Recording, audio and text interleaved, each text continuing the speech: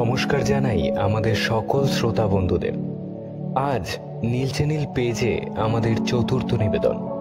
আজ আপনারা শুনবেন হেমেন্দ্র কুমার রায়ের লেখা গল্প, বাদরের পা। গল্পের বিভিন্ন চরিত্রে হিয়া ও নীল। শুরু হচ্ছে আমাদের আজকের নিবেদন। অবনীবাবু বলছিলেন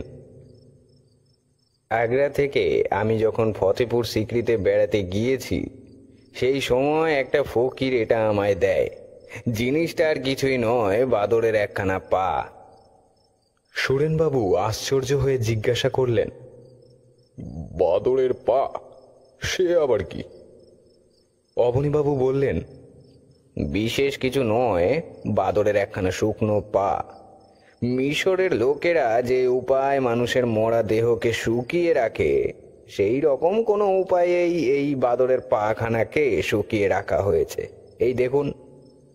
বলে তিনি পকেটের ভেতর থেকে একটা জিনিস বার করে দেখালেন। সুরেনবাবুর স্ত্রী সুরমা কার্পেট বুনতে বুনতে মুখ তুলে শিউরে উঠে বললেন মাগো ওটা কি আপনি আবার পকেটে পুরে রেখেছেন? আপনার ঘেন্না করে না?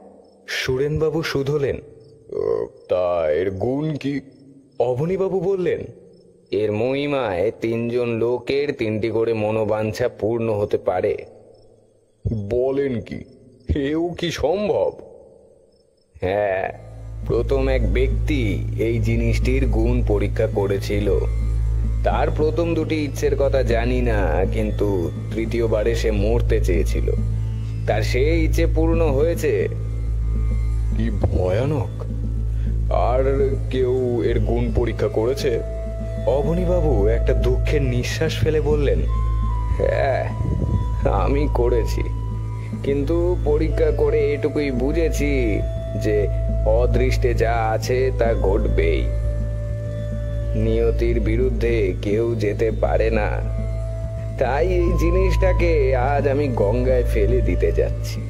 সুরেনবাবু বললেন সে কি কথা?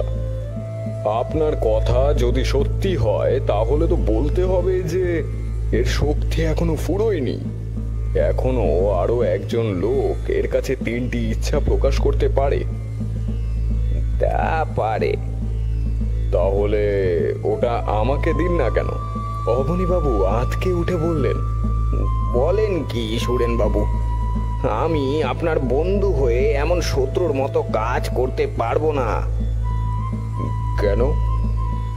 আপনি জানেন না, এ হচ্ছে কি সাংঘাতিক জিনিস। একে পরীক্ষা করার মানে হচ্ছে অমঙ্গলকে ডেকে আনা। সুরেনবাবু সকৌতুকে হেসে উঠে বললেন, আমি এসব গাঁজাখুরি কথা বিশ্বাসই করি না। তবু দেখাই যাক না, আপনার রূপকথার ভেতরে কতটুকু সত্য আছে। ওটাকে গঙ্গায় ফেলে না দিয়ে আমার হাতেই দিয়ে যান। অবনীবাবু বললেন, বেশ, আপনার কথাই থাকুক। কিন্তু যদি হিতে বিপরীত হয়, তাহলে শেষটা আমাকে যেন দুষবেন না। এই নিন। সুরমা বললেন হ্যাঁ গো, এ যেন আরব্য উপন্যাসের আলাদিনের প্রদীপের গল্প। তোমার বন্ধুর মাথা খারাপ হয়ে গেছে? সুরেনবাবু বললেন আমারও তাই বিশ্বাস। তবু মজাটা একবার দেখাই যাক না কেন। প্রথমে কি ইচ্ছা প্রকাশ করি বলো তো? সুরমা বললেন আমাদের তো কোনোই অভাব নেই। ছেলের ভালো চাকরি হয়েছে তুমি পেনশন পাচ্ছ আমরা তো সুখেই আছি। তবে হ্যাঁ আমার একটি ইচ্ছা আছে বটে। আমাদের বাড়িখানা অনেক দিন মেরামত হয়নি।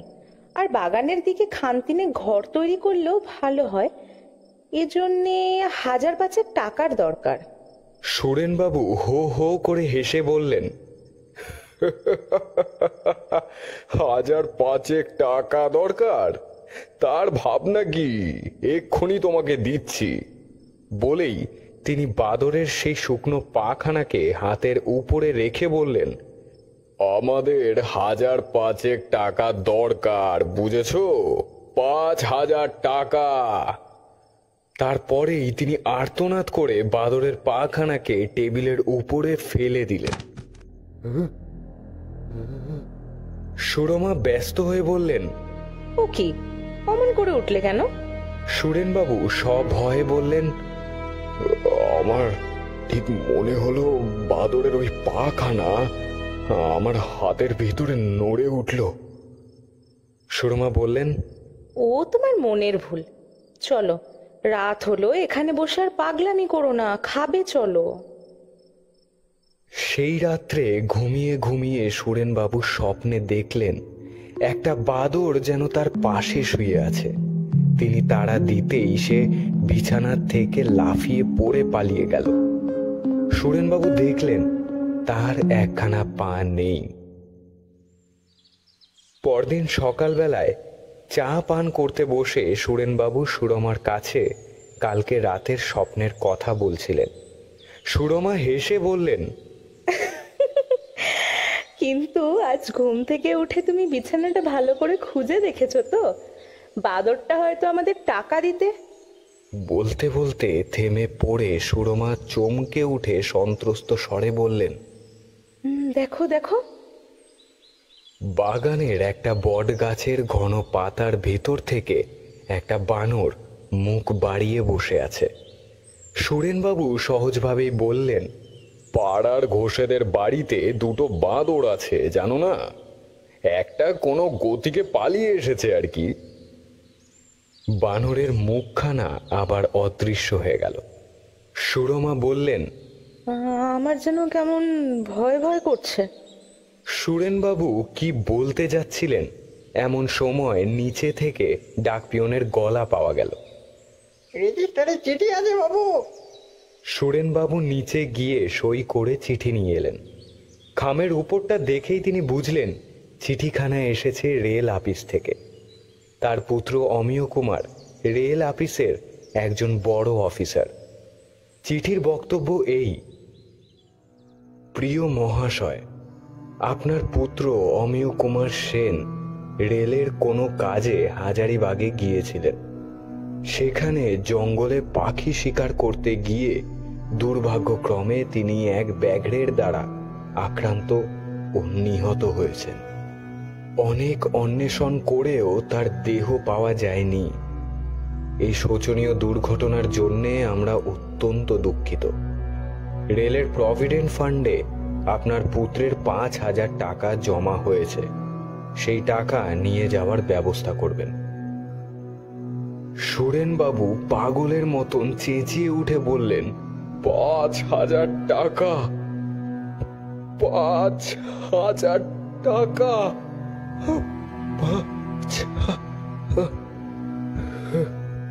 বলতে বলতে তিনি অজ্ঞান হয়ে গেলেন।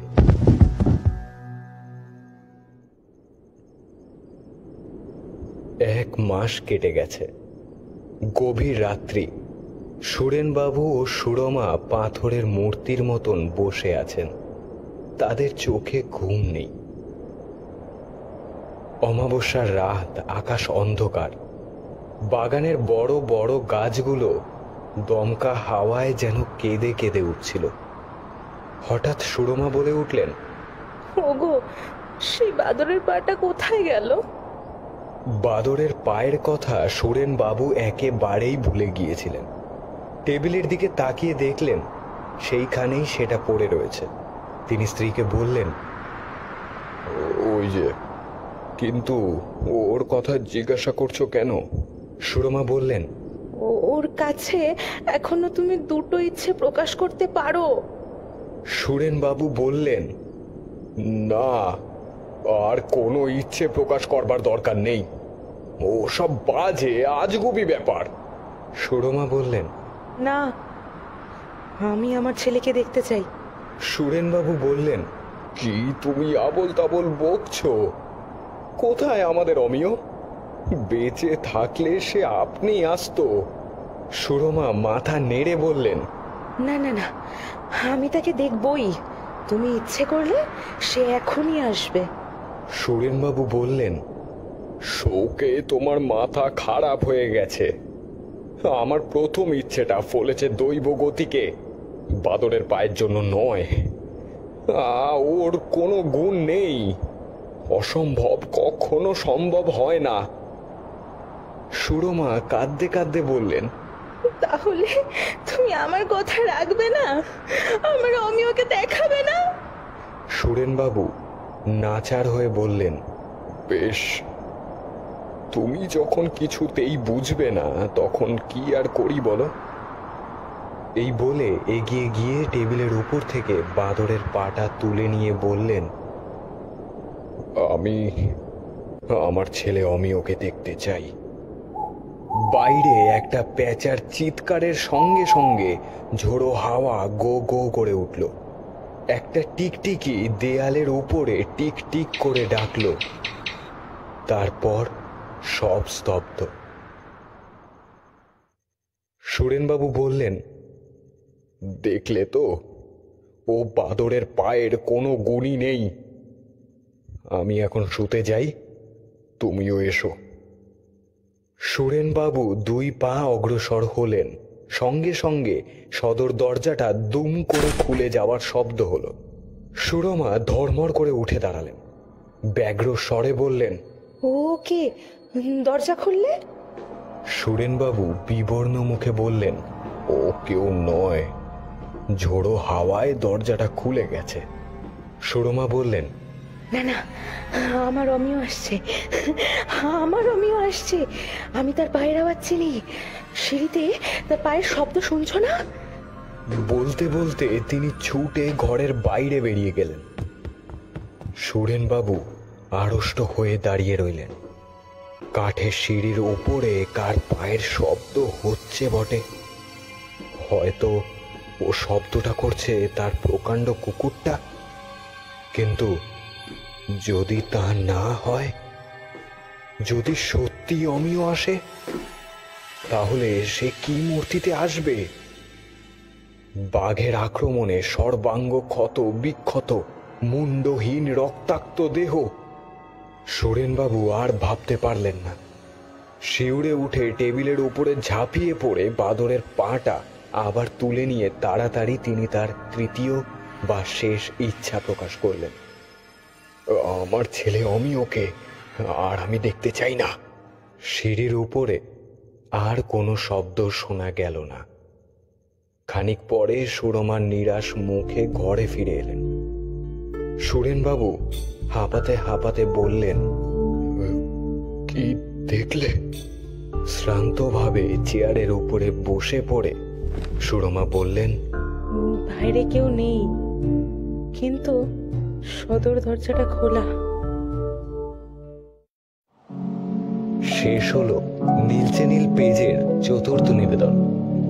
আজ আপনারা শুনলেন হেমেন্দ্র কুমার রায়ের লেখা গল্প বাদরের পা কণ্ঠে হিয়া ও নীল। সাউন্ড ডিজাইনিং ও ভিডিও এডিটিং এ Sandipan poster designing S W B FX আগামী মাসে আরও বেশ কিছু গল্প নিয়ে হাজির হব আমরা। নীল পেজটিকে লাইক ও ফলো করে আমাদের সাথে থাকুন। ধন্যবাদ।